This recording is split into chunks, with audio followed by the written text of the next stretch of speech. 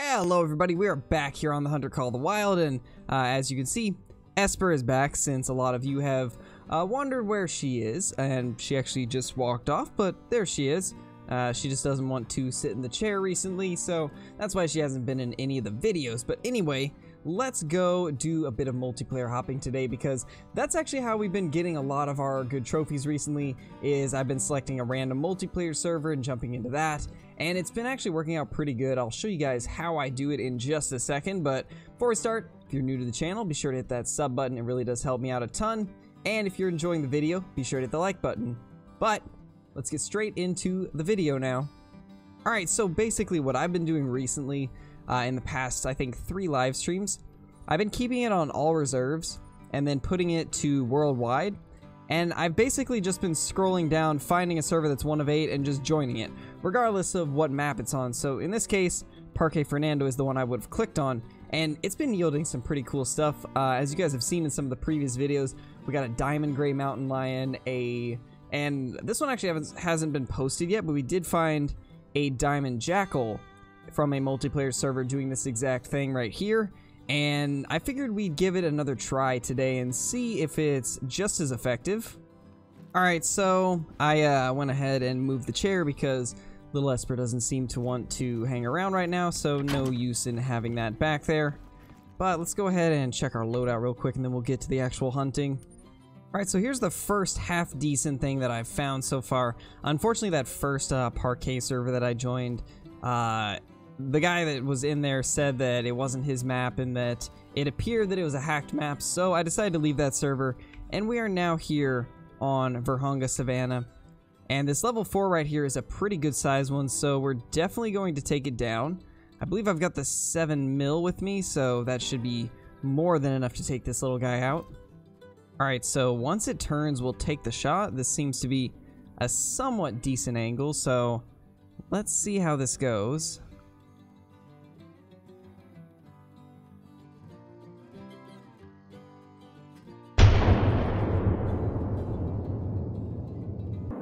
Took care of that little guy. I really hope we weren't too high because that very well could have hit the spine, but hopefully it didn't. Otherwise, that little guy's going to be completely messed up. Alright, so here this little dude is. Uh, this is a pretty decent sized one. I do believe this is one of the bigger level 4s, so uh, hopefully it'll be a decent scoring one. And 4840, it's actually, I guess this is actually one of the smaller ones. Been a while since I've hunted these, so for some reason I thought this was the larger tusks, but not a bad start. Still a decent little trophy. Okay, so this right here is actually a pretty awesome looking Gemsbok. Let's try to get its attention real quick, because we do want to try and take it out. Uh, unfortunately, I only have the 7mm to take it with because I have the 470 in my other slot for the Cape Buffalo. But we're going to try and get this down with the 7mm if it will give us a shot. Because it's not too often that you see the dark variation on a level 4. Let's just try and get this thing to turn for us. It seems to be being very stubborn though, which is unfortunate. Yeah, it's being very, very stubborn, unfortunately. We might be able to take that though. It almost gave us the chance fact, right now it might. This might actually be good.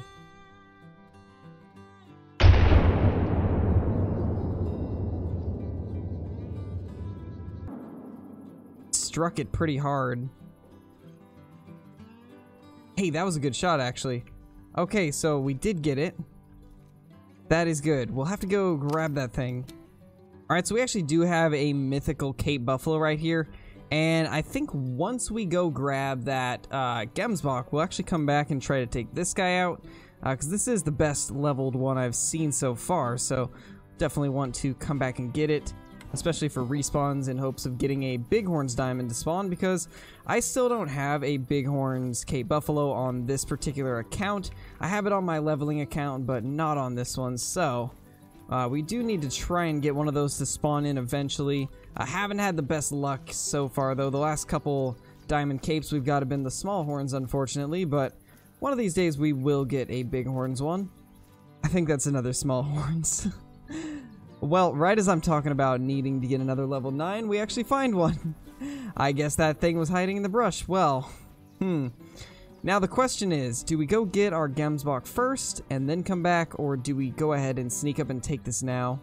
I think what we'll do is we will go get the Gemsbok first, and then we'll come back for this guy later, and we'll try to get close enough to take it with the 470, because I really don't want to use the 7mm on it, and I feel like the 470 will be a lot more fun.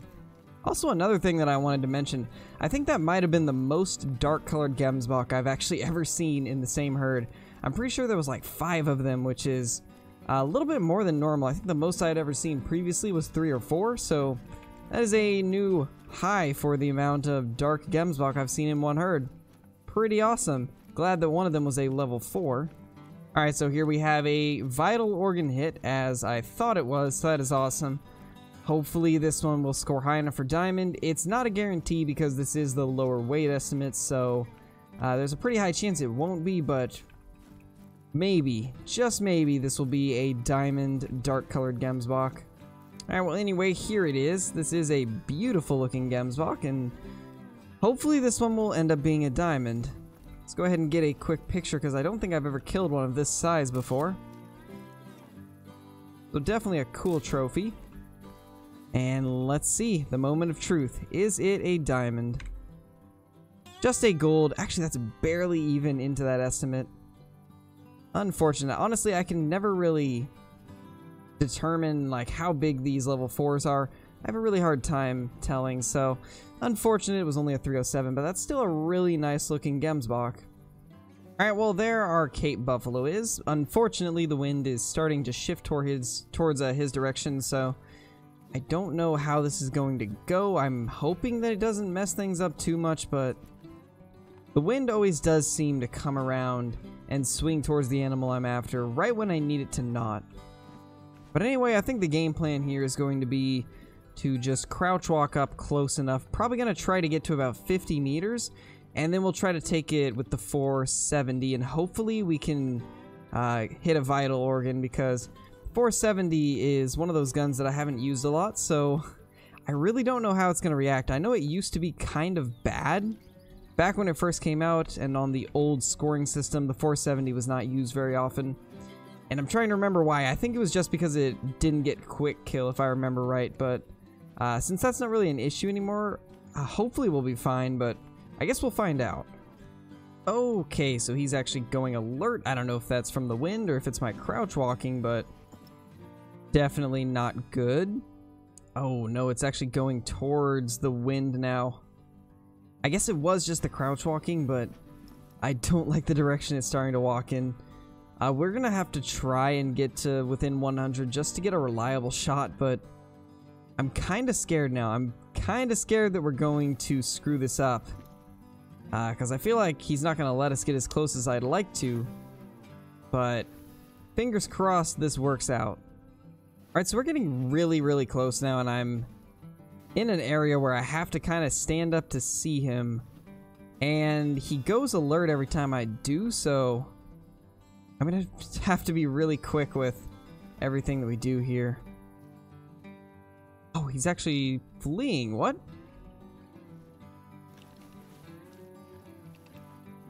He's actually fleeing away.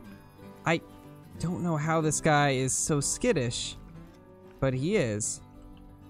Well, I guess our only option here is to really jump across. Hopefully this will give us a better angle on him. Alright, so I've been having an absolute time trying to get this guy back.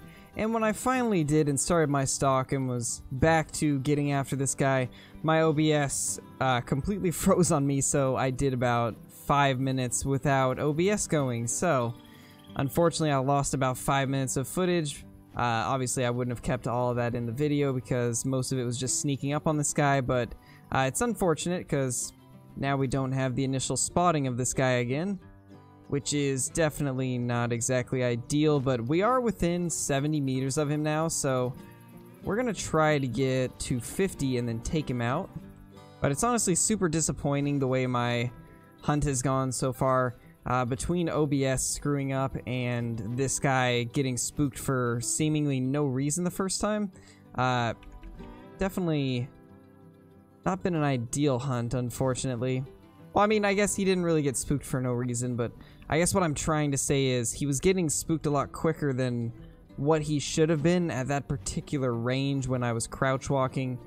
Uh, he just wasn't cooperating, and the wind wasn't in my favor either, and now we finally have perfect wind and everything.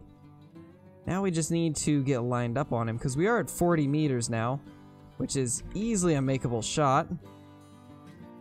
It's going to be a matter of getting his attention without spooking him. That is such a cool sight. Having a big old Cape Buffalo that close is absolutely awesome. Absolutely awesome. Yeah, what a gorgeous Cape Buffalo. You know, let's actually get a couple pictures because there's a good chance I won't be able to get pictures like this too often, so get a couple of him. Beautiful. That is awesome. That's really cool that we were able to get this close so we could get those nice pics. Ooh, he's actually in the perfect spot now. Okay. Get this set to 50. Uh, we do need to get the highlight again. Otherwise, this is going to be very hard.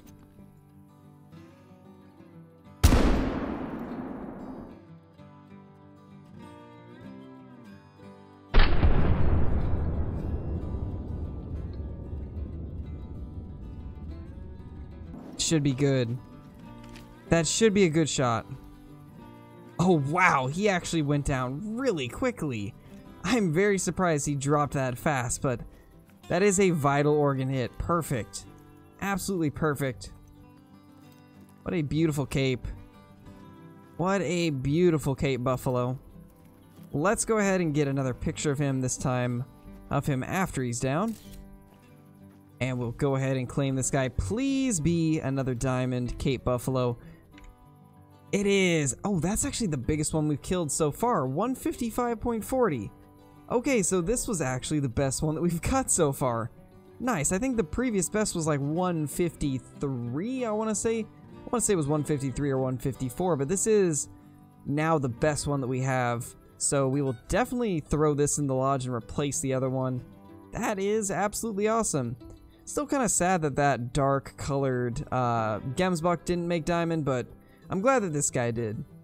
Alright, so I think we're going to not only take this guy down and replace him, but also move it to a different room because I feel like it'll fit much better with the albino. So we're going to go ahead and take the melanistic plains bison down also and put this guy right here. And it actually is quite a bit bigger than I thought compared to the old one. The old one was actually 152.55, so uh, this guy's actually bigger than I thought he was. He's quite a bit bigger than our old one, which is awesome. But let's go ahead and put this up right here. Beautiful. Alright, well, it's too bad that we didn't really get anything else during this hunt. I was really hoping that we would have more than just a Cape Buffalo, but uh, it was a good hunt, so I'm very happy that we did get to take it with the 470. I have wanted to try and do that for a while now, and it's also been something that I've seen requested quite a bit is to hunt uh, either Cape Buffalo or Water Buffalo with the 470, so glad we finally got a chance to do that. And it happened to be the best scoring one that we've killed so far, so that is also very awesome. But anyway, hope you guys enjoyed this video.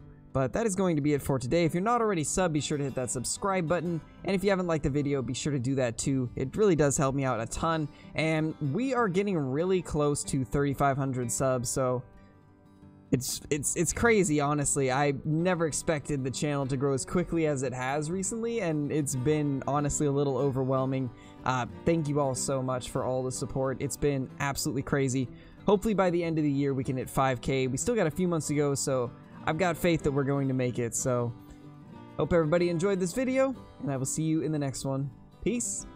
If you are new here and you are liking what you see, consider subscribing to the channel and turning notifications on. Also, if you want to help the channel grow, be sure to like the video because this alone can help the video and my channel do better. But that's going to be it for me. Peace, my dudes. I hope you all have a fantastic day.